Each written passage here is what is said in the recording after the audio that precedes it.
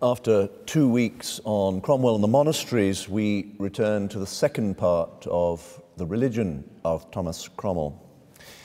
Those previous two lectures might seem to have minimized Cromwell's contribution to the English Reformation. He had no master plan for dissolving monasteries. His personal preferences and actual strategy mirrored his proceedings under Cardinal Wolsey and the momentum repeatedly came from fitful interventions from King Henry VIII. Nor, in the end, did all the corporations that had been monasteries disappear. But uh, there is more to say about Cromwell and his religion. And to do that, we're going to go backwards and pick up the story from where we left it in the crisis of Cardinal Wolsey's power in summer 1529. Now, that was a moment of betrayal, both of Wolsey and of the king, by the Pope. At the hearing of the king's petition for the annulment of his Aragon marriage, uh, held in the London Blackfriars, Cardinal Wolsey's fellow judge, uh, Cardinal Campeggio, made it clear that no judgment on the case could be made in England that summer. Queen Catherine had the chance to appeal directly to Rome, therefore, where the case could, case could last as long as the Vatican wanted. The Pope, in other words, had fooled King Henry, and Wolsey would take the blame. And as the worst crisis of his life so far moved towards this dire extremity, Thomas Cromwell put his affairs in order on the 12th of July 1529, as the Blackfriars trial meandered through the illusion of progress, Cromwell began making his will, though circumstances dictated that neither this nor any other will would ever be put into effect. Its text, however, remains, and it's a precious snapshot of his affairs and his status at that time, though he made changes over the next year or two as circumstances changed. Tragic new circumstances, for instance, were the deaths of his two daughters, probably in late 1529, noted by erasures and substitutions in the will. His wife, Elizabeth, was already dead by the time that the neat, formal first text was drawn up. And there's been frequent remark on how traditional the religious reference of Cromwell's will appears.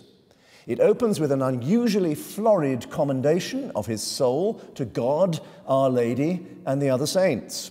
Stipulates in the end seven, substituted for three years of chantry prayers for his soul, and makes the sort of bequest to London's five friaries and to poor prisoners in city jails that you expect in the wills of particularly devout late medieval folk with plenty of spare cash. Well, What's it all about? There are two feasible explanations. First, it might just be a smokescreen for the benefit of London diocesan officials.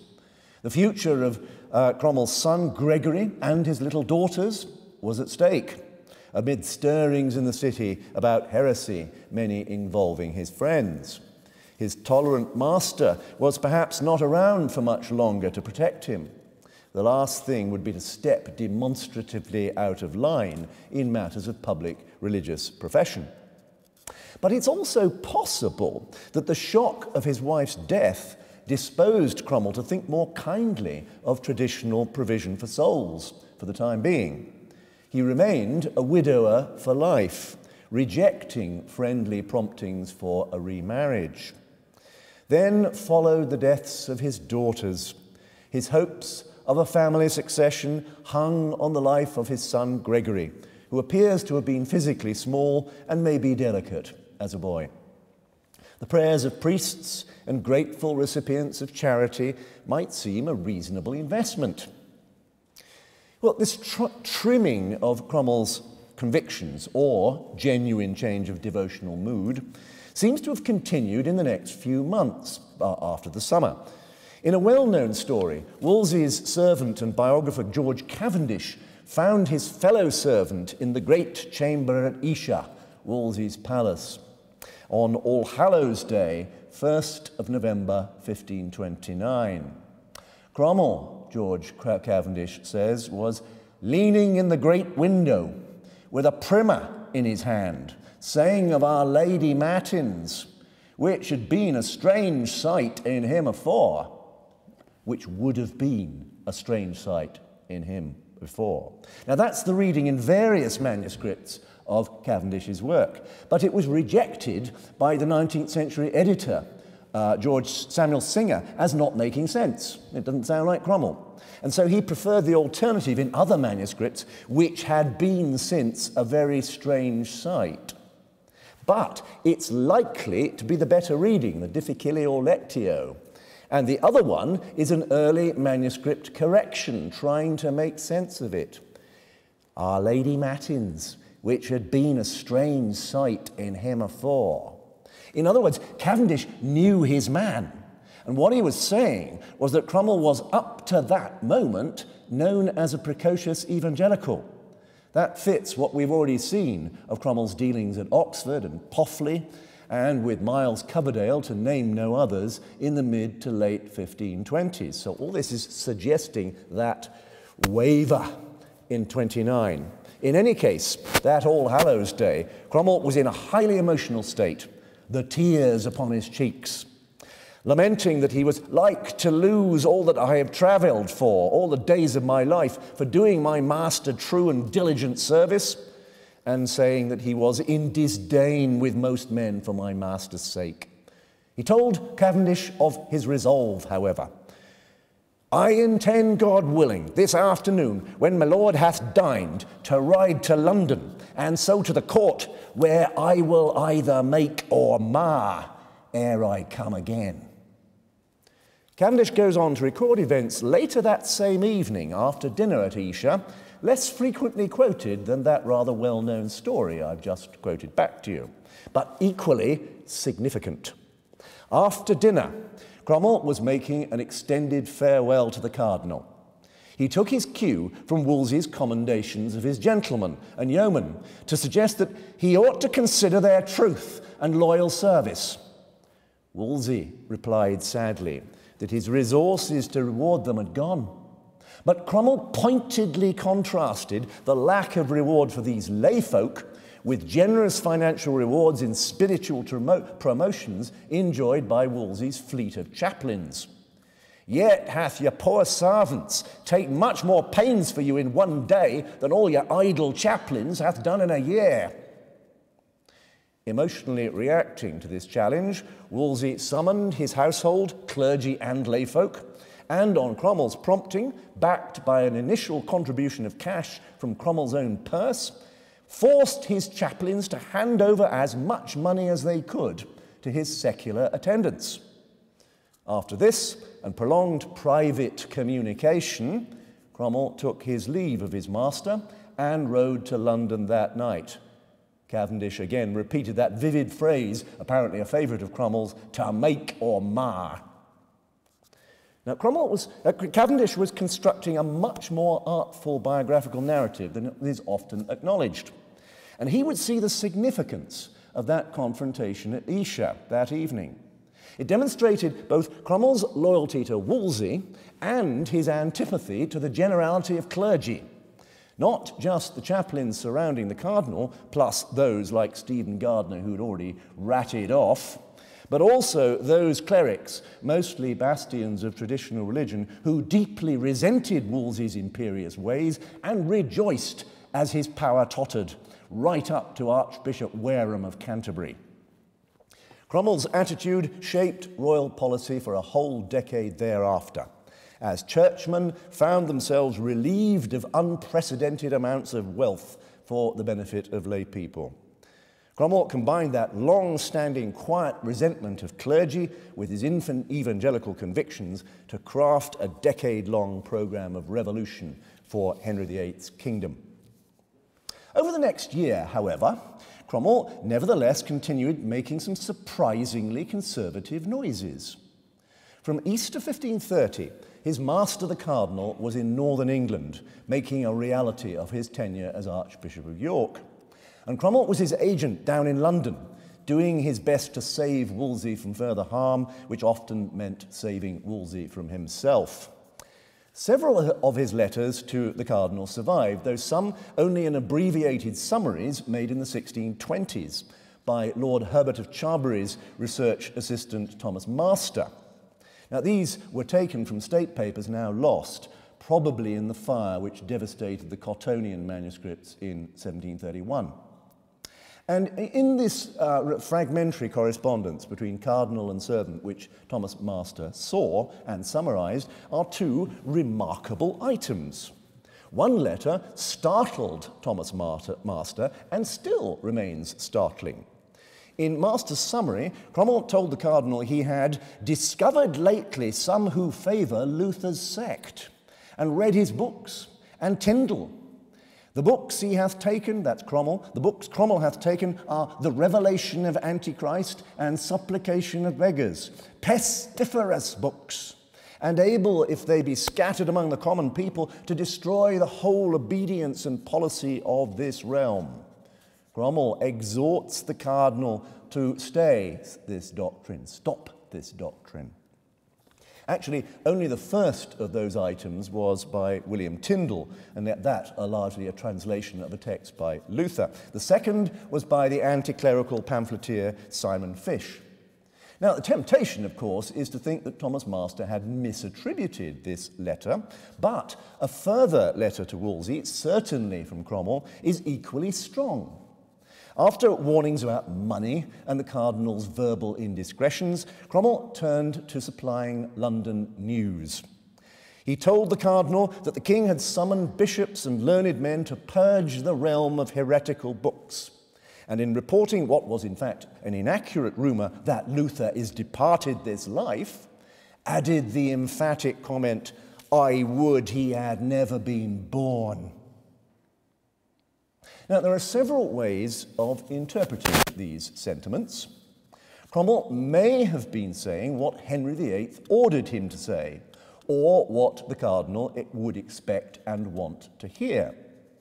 The correspondents would also be aware that the chief champion of Tyndale and Fish and Luther, close to the king, was Wolsey's nemesis and Cromwell's coming enemy, Anne Boleyn. It's worth avoiding the hindsight to force all evangelicals in these early confused days of the Reformation into a seamless web of solidarity. I hope that's clear by now. Cromwell's first encounter with the movement which swelled into the Reformation was on his own testimony, as I uh, said in my first lecture, not through Luther, but through Erasmus, whom the world had seen bitterly clashing with Luther in the 1520s on the vital matter of human free will versus divine determinism. Cromwell remained a strong admirer of Erasmus, promoting translations, publications of his works by his various favoured printers during his years of power. Now, of course, unequivocally in the interests of evangelical reformation. But even for a reformer who enjoyed sneering at papal power, it was possible to blame Luther for splitting Christendom. Cromwell again wrote to Wolsey on the 18th of August 1530, and he told him of current affairs in Germany, and he used the phrase the Lutheran sect. And in the 16th century, there were few greater put downs than the word sect. If again you argue that this is language tailored to the recipient, it's worth noting that Cromwell's old servant, the vigorously evangelical Stephen Vaughan, also commonly called Luther's associates in reports to Cromwell on his foreign travels the Lutheran sect. And Vaughan was much less inclined to dissembling to anybody, uh, let alone his master. No one scrabbling to do the king's will, as desperately as Cromwell soon was in the annulment business, would have any cause to love Luther, who was bitterly opposed to Henry VIII's repudiation of Queen Catherine. If he was looking for evangelical soulmates over the water in that cause, it would be to the reformers of Switzerland, who proved much more amenable to Henry VIII's arguments that he'd never so far been married at all and we will return to Switzerland. Nevertheless, pulling together various fragments, as I've just done for you, in 1529 to 1530, it's possible to suggest that this great crisis of Cromwell's fortunes did produce a serious jolt to his evangelical convictions, certainly in how he was present, prepared to present himself to the world. First, those traditionalist provisions in his will, then his Lady Psalter clutched at Esher, now exclamations at Luther. Add to that the group of Wolsey's friends and Anne's enemies who successfully promoted Cromwell to Henry VIII. No evangelical sympathizers there. And you might add in the circumstance of the one illegitimate child he is known to have fathered, a daughter called Jane. Now, the date is very uncertain of her birth, but on the balance of chronology, this is the most likely moment that it happened. Collectively, it does look like a real lurch in his behavior, resembling nothing else in the record before or after these 12 months, which, of course, would have destroyed him with his old master if things had not fallen differently. Well, the wobble was soon past, and Anne Boleyn and Cromwell found themselves on the same side in religion. 1531 was a decisive year in forcing people to make theological choices in an increasingly obvious religious division, whatever they thought about the king's annulment plans, though no one could ever accuse King Henry VIII of making a theological decision. But others did. Stephen Gardiner, Thomas More, Reginald Pole, all opted for the traditionalist side of the new religious divide. Cromwell's actions unmistakably moved back to the evangelical patterns we saw in the 1520s, and that brought him close to one enthusiastic supporter and client of Anne Boleyn, Thomas Cranmer, soon to be Archbishop of Canterbury. From now on, Cromwell and Cranmer enjoyed an intimate cooperation which went well beyond business. Their relationship had evolved over four years or so from the first time they apparently met, which was involving, uh, being involved in setting up Cardinal College Ipswich. Now, a general, genuine trust, affection, overcame the delicacy of their allegiances to two conflicting patrons. A pair of ideals united them, even though the ideals were themselves ultimately incompatible. Loyalty to King Henry and the furthering of evangelical reformation. Well, in view of Henry's capricious attitude to theology and frequent religious traditionalism, it was never going to be an easy combination to manage.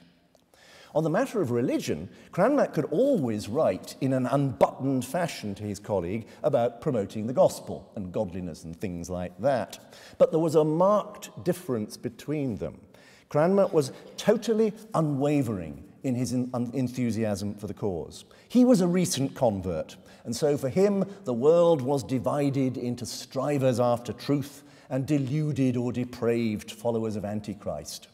Though his gentle, thoughtful disposition meant he could always hope that the deluded might be persuaded to follow, a path of righteousness. He was, after all, a predestinarian and believed that God would guide those he decreed for salvation into the right way.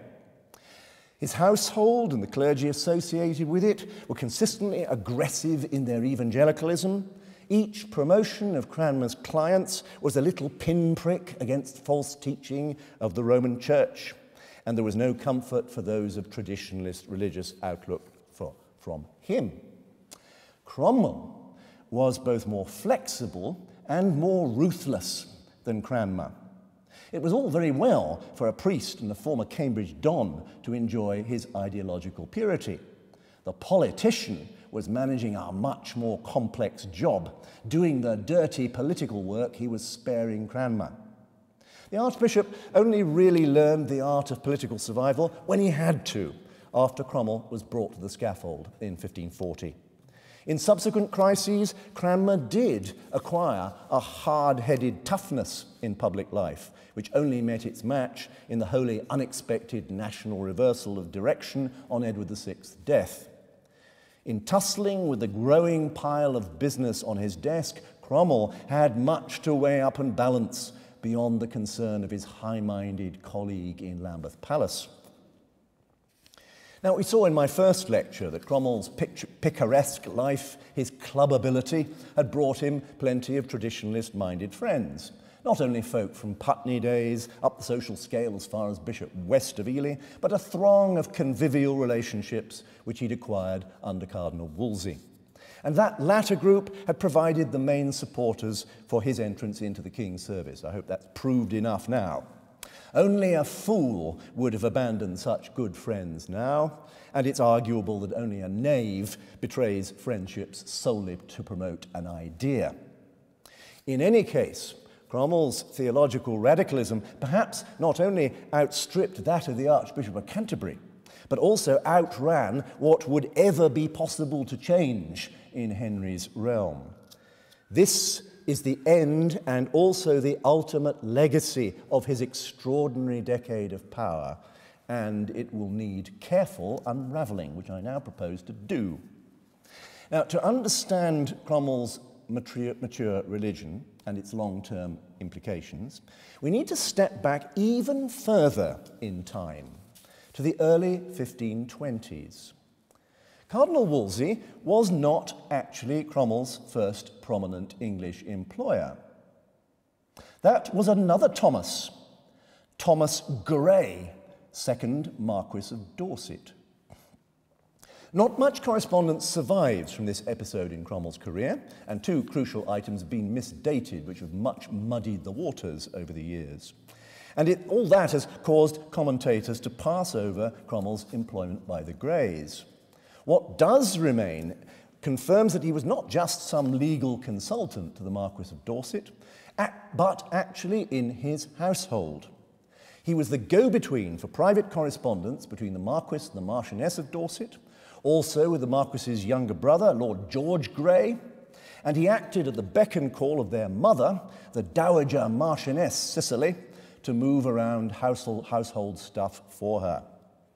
Now, one reason that this service with the Greys has been ignored is that it lasted no longer than a year, which might lead us to suppose that the relationship cooled, or at any rate ceased to be of significance, but not so. His brother in law, Morgan Williams, continued to serve in the Marquis's household, and Morgan's son, Richard, whom Cromwell virtually adopted as his own son in the 1530s, was also in the Marquis's service. Quite apart from that, there's a skein of connections between Cromwell himself and the Greys all through these years, including an extraordinarily cordial note from Lord George Grey of 1527 or 1528, addressed to my fellow and friend, Master Thomas Cromwell, which is a remarkable form of address to a former menial servant who'd been moving around his mother's wardrobe only two or three years before. Even more remarkable is the letter of 1526 uh, from a further brother of the Marquis of Dorset, Lord John Grey, in which he calls Cromwell Brother Cromwell. Can't understand that. It remains to be unravelled. But it's there, Brother Cromwell. The Greys were not slow to call on their former servant in his steadily increasing good fortune as he entered royal service in the 1530s. In 1532, the second Marquis of Dorset's brother, Lord Leonard Grey, hope you're following all these Greys, Lord Leonard Grey enlisted Cromwell in what turned out to be an unsuccessful quest to marry a rich Lincolnshire widow. Amid promises of handsome reward, Lord Leonard Grey emphasized to his loving friend and fellow that my whole trust next to the king is in you. In the mid 1530s, this relationship became entangled in Cromwell's interventionist policies in Ireland, when Cromwell engineered the appointment of Lord Leonard Grey as the King's Lord Deputy in Dublin. Not a great success, admittedly. The Grey connections ramify the more one looks for them. Look for footnotes. One important reason for the lack of attention to Cromwell's intimate relationship with the Greys is an accident of history. Thomas Marquis of Dorset died on the 10th of October 1530, just too early to help Thomas Cromwell extract himself from the aftermath of Cardinal Wolsey's fall, or to become his ally at court during the 1530s. Now, the Marquis's son, Henry, the third Marquis of Dorset, was then a young teenager. And so Henry himself remained of no practical account in politics through the rest of Cromwell's career. But we should notice that this actually resulted in Cromwell taking on a crucial role in the affairs of the Greys. Cromwell clearly got on very well with the second Marquess's widow, Margaret. She was born one of the Wottons of Kent, part of his gentry network in that county. In the early 1530s, he sorted out for the now Dowager Marchioness the misgovernment of the Cistercian Abbey of Tilty in Essex. Uh, that was important because Tilty was the Marchioness's home. The Greys, in their role of, as founder family of Tilty Abbey, had annexed its guest house in the 1520s as their main residence in the south.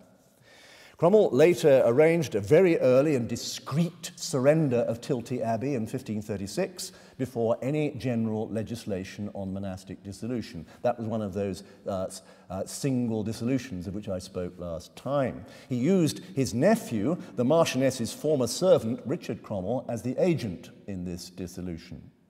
The Greys' steward at Tilty Abbey was one Henry Sadler, whose son was Rafe Sadler one of Cromwell's most reliable and trusted servants.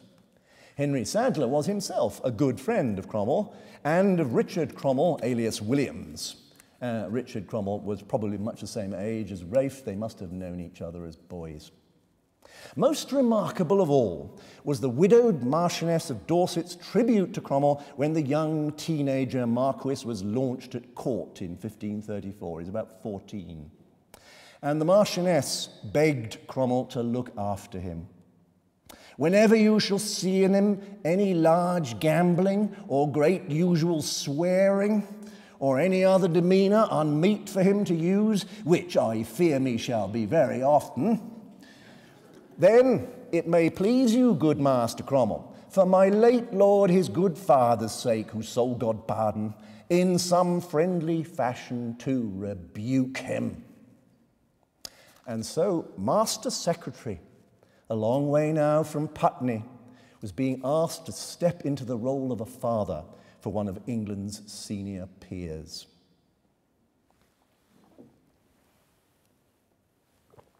Now, this is not of mere anecdotal significance.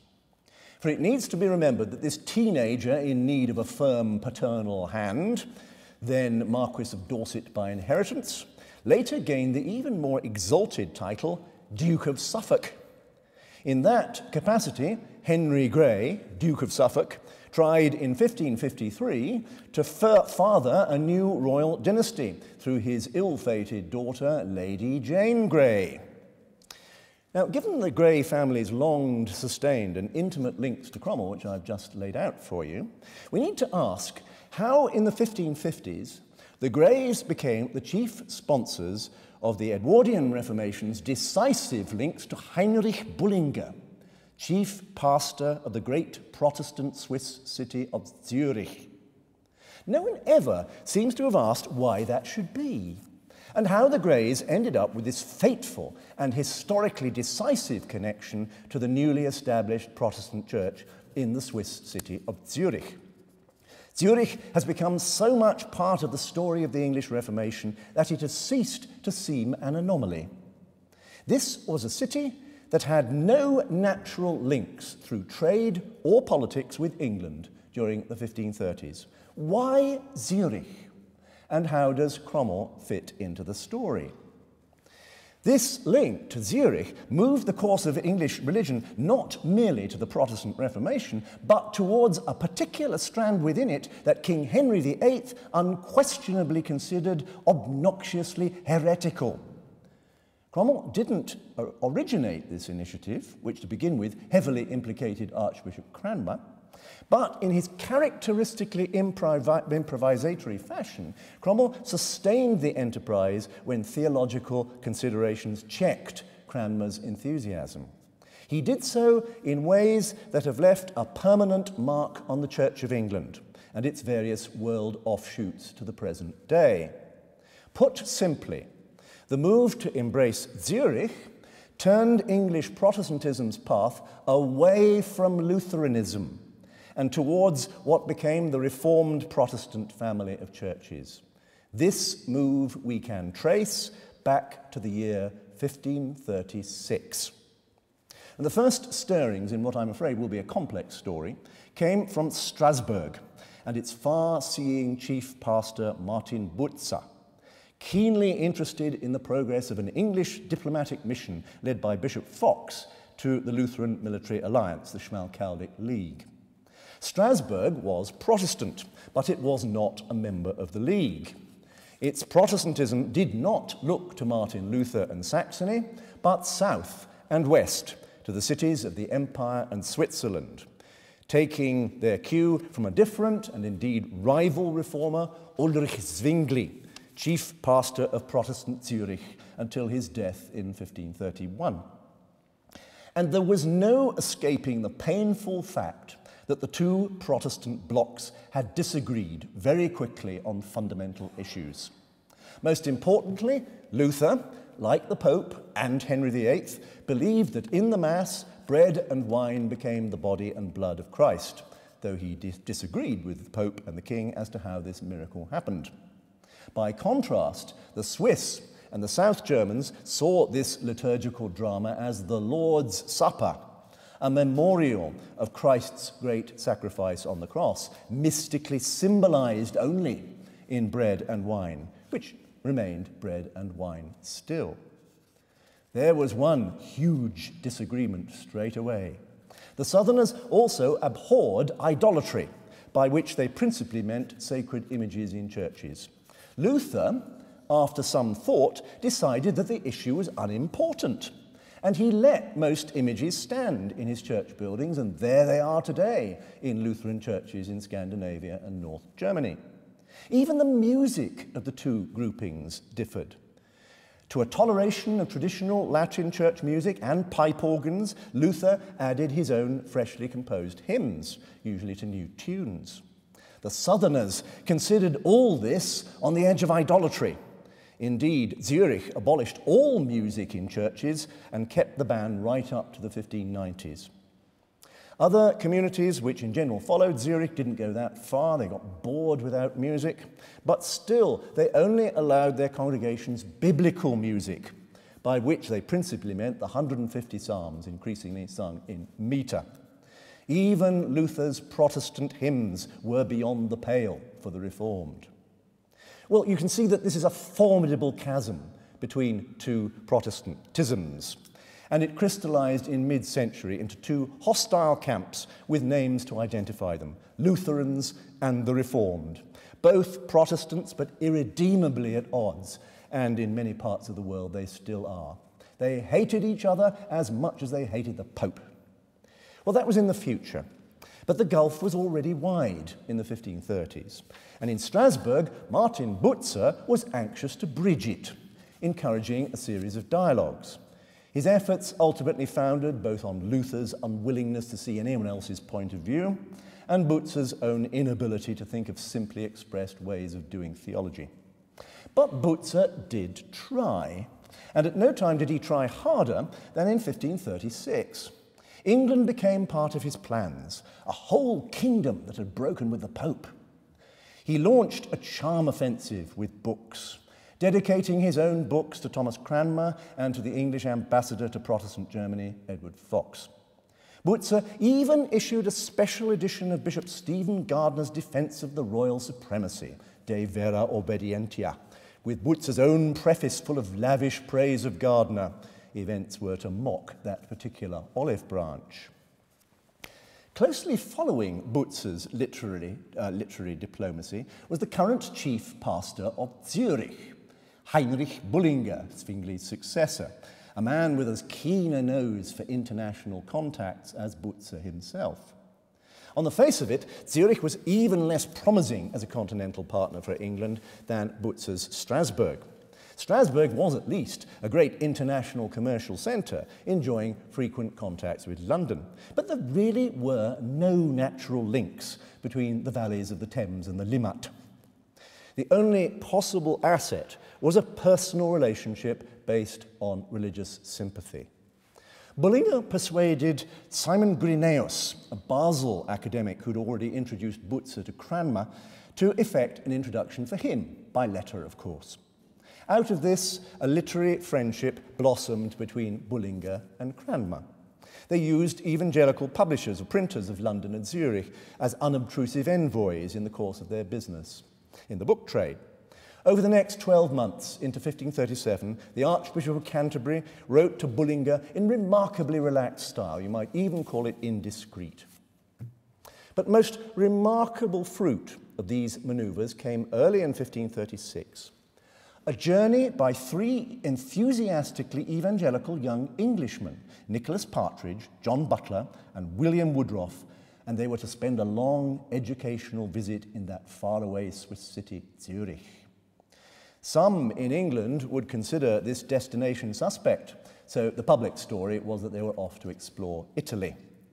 But they arrived in Zurich in August 1536, probably setting out, therefore, from England in July or something like that. And the visit was a huge success. Bullinger took a keen personal interest in them, helped the young men settle into advanced biblical study in the city. And it became reciprocal when Bullinger's 18 year old adopted son, Rudolf Gwalter, arrived in England in spring 1537, chaperoned by Partridge and Woodroffe to Magdalen College, Oxford. Gwalter's two month stay left him with golden memories for the rest of his life's work as chief pastor of Zurich in the 1560s and 70s. He returned to Switzerland in company with Partridge and three more young Englishmen and yet another appeared in Zurich a few months later. English Protestantism benefited hugely, particularly when Zurich warmly welcomed Protestant exiles in Mary Tudor's reign. Now, it would be easy to read all this as Archbishop Cranmer's initiative, and that's what I assumed actually when I wrote my biography of Cranmer. Certainly, uh, until the summer of 1536, he was chief apparent actor in creating England's evangelical axis to Strasbourg and Zurich. Yet the pioneering student exchange, as I pedantically just pointed out to you, came after that, uh, July, August 1536. And if you start ferreting into the origins and connections of the young Englishmen, it's striking how little they were linked to Cranmer and how much they were linked to Thomas Cromwell. Those with a university connection came from Oxford, not Cambridge. Cranmer's connections were all the other way. Magdalen College, of which Nicholas Partridge was a fellow, was prominent in most of their stories. And it was already a battleground between evangelicals and conservatives, battles in which Thomas Cromwell had intervened in the evangelical, in the evangelical side in 1535.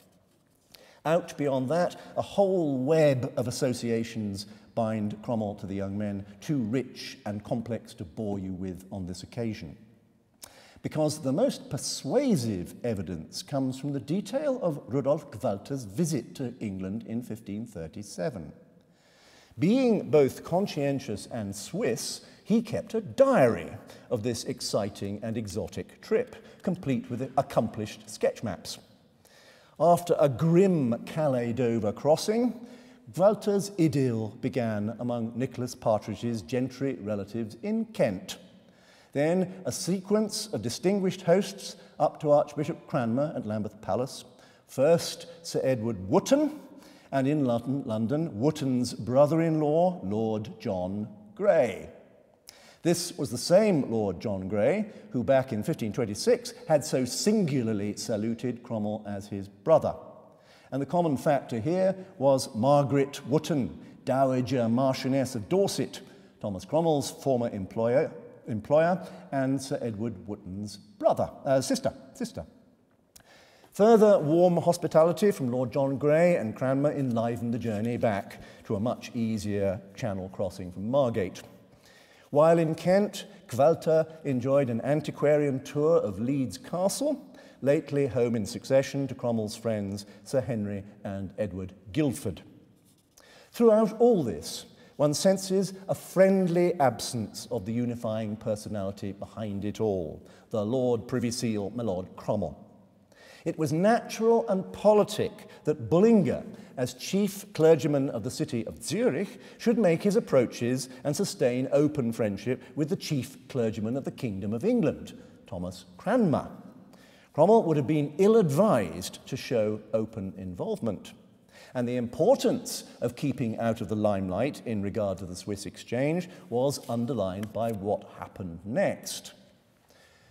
Gwalter went happily back to Switzerland, and in his scrip was a, a collection of letters uh, from Cranmer to various Swiss grandees, not, uh, notable clergy, one appropriately, of course, to Bullinger but another to be forwarded to the city of St. Gallen and its chief reformer, Joachim Vadianus. Now, Vadianus, when he opened eagerly this uh, letter from a great clergyman far away, would have been disconcerted by the contents. It was a thank you note for his present of Vadianus's theological aphorisms from 1536. But actually, it was a hatchet job on the Eucharistic theology contained in the book. Cranmer found Vadianus's remembrance view of the Eucharist unacceptable, and he said so at length. Thus, Cranmer, like his royal master, and like Luther, still at this stage vigorously affirmed the real presence in the Eucharist against the Swiss and the Strasburgers. Not long afterwards, Cranmer sent an equally astringent reply to another literary overture from Butzer's colleague uh, as Strasbourg pastor, Wolfgang Capito. And this was even more serious because Capito had de- dedicated his book to King Henry VIII. And after having had it read and analysed for him, the king seized just as sharply as Cranmer on its statements about the Eucharist. Well, Cranmer did not thereafter totally end contacts with Zurich, Zurich, but he was much more circumspect, indeed, deliberately slow in letter writing. And it wasn't until after King Henry's death in 1546 that Cranmer felt able to abandon his scholarly caution about the Eucharist. The removing, the removing, I think, of the terrifying charisma of the king allowed him to make the leap across the theological divide, embrace the symbolist view of the Eucharist that Zwingli had pioneered. But still, Zurich was never high on Cranmer's priorities across the sea, certainly compared with Strasbourg. In the meantime, however, the overseas contacts continued without him. And the young men from 1536 to 38 continued in their wanderings, their warm correspondence with their friends across the water. Gualter even planned a second trip to England in 1540, though Cromwell's fall intervened before that could happen. Even despite Rudolf Gualter's disappointment in 1540, in Edward VI's reign, a procession of talented foreign scholars and theologians followed his footsteps from Zurich to Oxford, Oxford, note. And they played a significant part in counteracting the still powerful conservatism of this university. Their consistent patrons were the Marchioness of Dorset's son, Henry Grey, now Duke of Suffolk, plus his scholarly daughter, Lady Jane Grey. Both received praise from Heinrich Bullinger, uh, effusive Latin dedications. Well, once Grey, Jane Grey's coerced in, uh, venture in queenship was crushed by the Lady Mary's coup d'etat in 1553, Zurich became the most welcoming of hosts for shell shocked English Protestants. And on the return to England uh, in Elizabeth I's reign, they provided most of the first bishops in her restored Protestant Church of England. They fostered decades of close relationships with that alpine city so far away. And they made Queen Elizabeth's Church of England resemble the Church of Zurich much more than the Church of Geneva.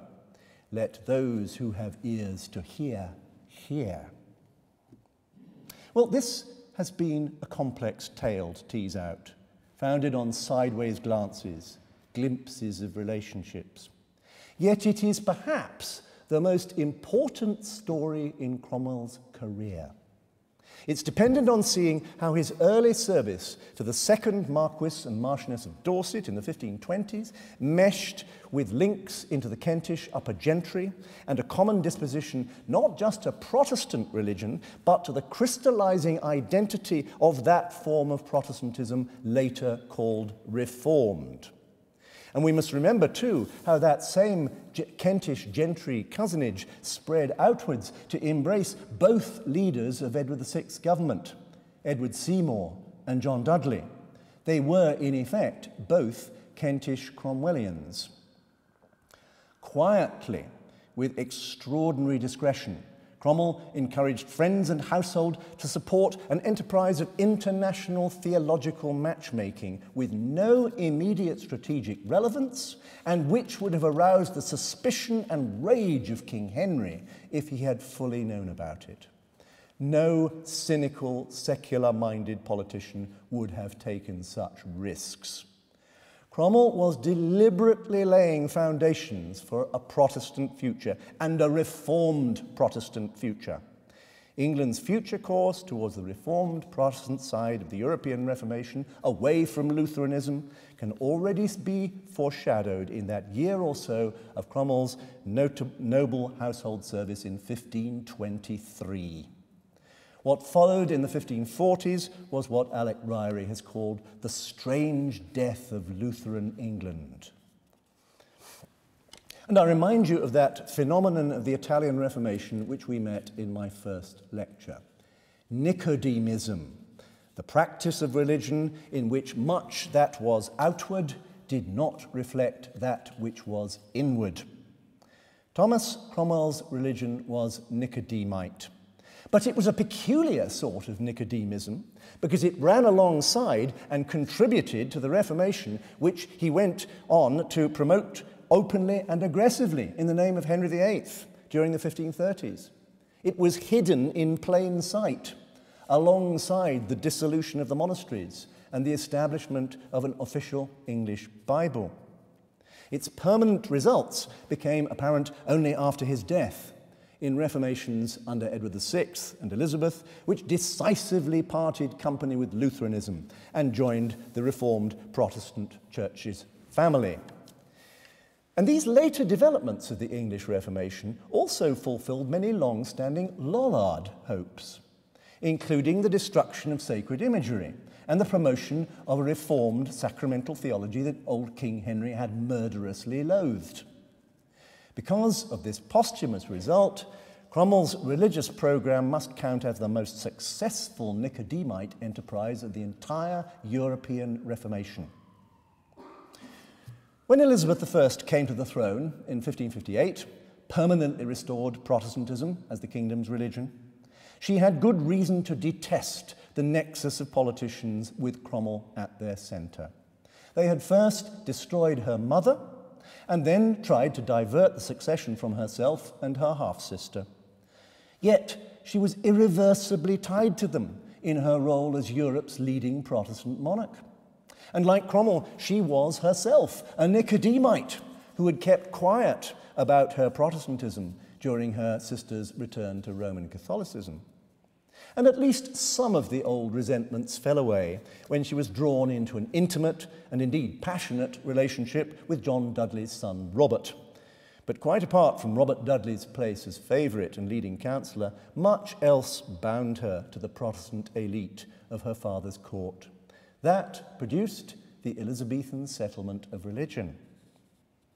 Well, the Italian reform of the Spirituali and their Nicodemite fellow travellers was in the 1540s and 1550s exposed, crushed, and scattered abroad by the Counter Reformation to diffuse into Central European Reformed Protestantism and into the varied Unitarianism of Eastern Europe. But Thomas Cromwell's Nicodemite version of Reformed Protestantism thus endured under the tutelage of his most accomplished imitator, Queen Elizabeth I, after 1559, it became the Church of England. Thomas Cromwell did so much in a decade. He served his king with careful attention to what Henry wanted, but an even more careful attention to insinuating his own plans and hopes into the king's proceedings. Partly he wanted to forward a religious revolution. Partly his aim was more predictably to forward his own family's dignity in the realm. And his success in that respect was astonishing. The grandson of a Putney brewer married the sister in law of a king. It was hardly surprising that some believed Thomas Cromwell capable of planning a marriage to the king's daughter, Mary. Now, what an alteration that would have made to history! The actual alteration was profound enough. Not just the break with Rome, which had sprung from King Henry's ego, but a committed Protestantism for Edwardian and then Elizabethan England, steered by men who'd profited from Cromwell's patronage and guidance, from noblemen like John Dudley, Edward Seymour, and Henry Grey, to civil servants and lawyers as diligent and talented as Cromwell himself, Elizabeth's trusted servants, Nicholas Bacon and William Cecil. Protestant England endured, gradually outstripping the great powers which in the Tudor age made England seem marginal in Europe. Protestant England took a new, steadily more dominant place on the world stage as Thomas Cromwell's namesake and collateral descendant Oliver won victories in ocean wide warfare against the popish power of Spain. Lord Protector Oliver had at his disposal the National Navy, once the pride of old King Henry. Henry had spent so much of his wealth on it, mostly gained lately at the expense of the church. The Kingdom of England, restored in 1660, built on Oliver Cromwell's achievements in partnership with a now Protestant Scotland. The new alliance named itself Great Britain in 1707. Implausibly, for a small archipelago, it created a great seaborne world empire that rose and fell from the 17th to the 20th centuries, even in a, my own lifetime. And that imperial story lies behind the formation of another Protestant world power whose time may similarly pass the United States of America. This and much else, for better or worse, remains the legacy of Thomas Cromwell. Thank you.